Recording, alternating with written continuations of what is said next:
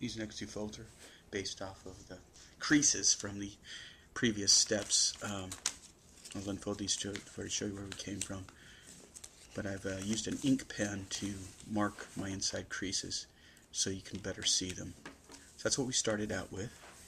And we made our uh, fold to the inside on the right and left and gave us a kite shape. And then we unfolded those and we made a uh, diamond shape by folding them up. And that was just to get the creases. Again, I've I went ahead and made an ink line where the uh, creases are. You'll see an X. That bottom part of the X, that triangle, I'm just folding down on those two and pinching the top one together.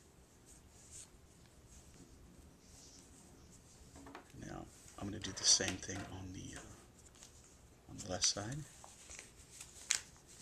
Unfold that, you'll see my ink marks. Make an X just on the inside fold there. I'm going to inside lines. I'm going to match them up, pinch them together, fold it over. I'm going to make sure the two lines match on the right and left. Always need symmetric, symmetry, symmetry on these and uh, make sure that they match up. So your paper plane should now look like this. Pretty easy folds. Again, rewind as much as you need, pause it when you need to.